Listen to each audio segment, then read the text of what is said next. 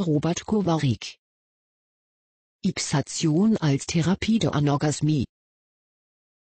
Kapitel 11.2 Die notwendigen Bedingungen. Es gibt zwar Menschen, die ihre Sexualität gerne in stressigen menschenüberfüllten Verkehrsmitteln oder an öffentlichen Plätzen, respektive während der sonstigen gefährlichen Situationen, wie während der Autofahrt, während des Fluges und so weiter auszuleben pflegen.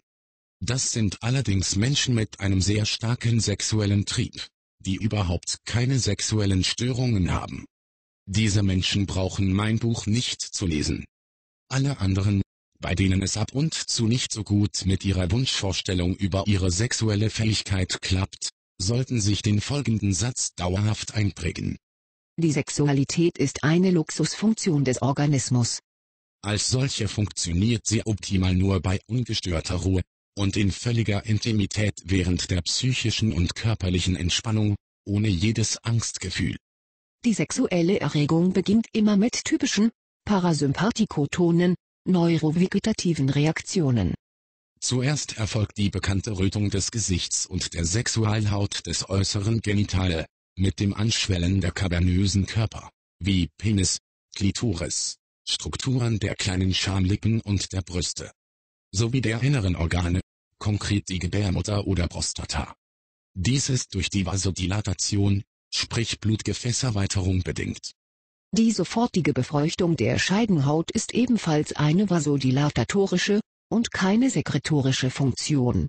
Der besondere Glanz in den Augen, die Absonderung der Gleitfeuchtigkeit aus der Urethra, sprich Harnröhre, und der bartholinischen Drüsen im Scheideneingang, werden dagegen durch sekretorische Drüsen verursacht. Das Schwitzen kommt erst später dazu. Es ist thermoregulatorisch bedingt und dient der Kühlung des Organismus. Im Laufe der sexuellen Friktionsbewegungen und während des angespannten Muskeltonus, wie Krämpfe im Gesicht, der Hände und den Füßen, wird nämlich sehr viel Muskelwärme produziert. Diese Mehrwärme muss hinausgeleitet werden, damit die innere Temperatur im homöotherm regulierten Körperkern um die 37 Grad Celsius nahezu konstant bleibt. Die anfälligste Phase der Sexualität ist also ihr Beginn.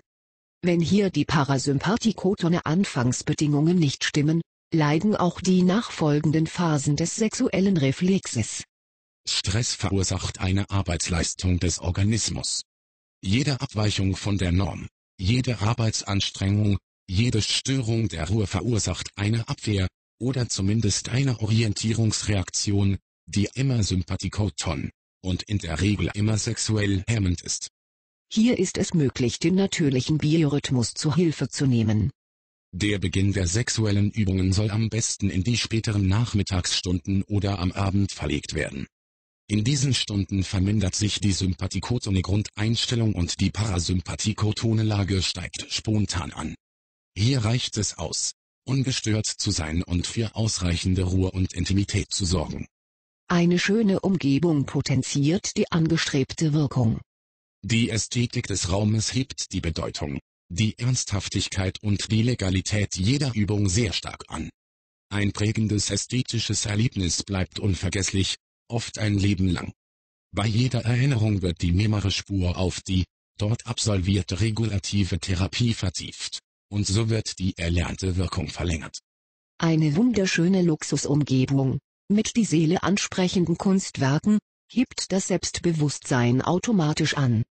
Dies hilft dem sexuellen Enttabuisieren, der notwendigen Selbstverständlichkeit, mit der dann mit dem Sexualpartner offen und nicht mehr verkleimt und peinlich kommuniziert wird.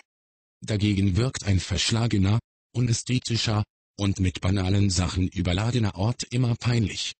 Er suggeriert eine Illegalität der Situation und fixiert die verschämte Sexualhemmung unnötig. Die sich bietende, oft überraschend neue, begeisterungsfähige Ästhetik eines typischen Kurortes ist also der weitere Grund dafür, mit der Sexotherapie gleich dort anzufangen, und sie nicht in die banale Umgebung des gewöhnt langweiligen Wohnortes zu delegieren. Sedativa und andere Psychopharmaka sind hier strengstens verboten. Sie würden die nervalen Reize und Reaktionen blockieren, während gerade diese aktiviert und trainiert werden sollen.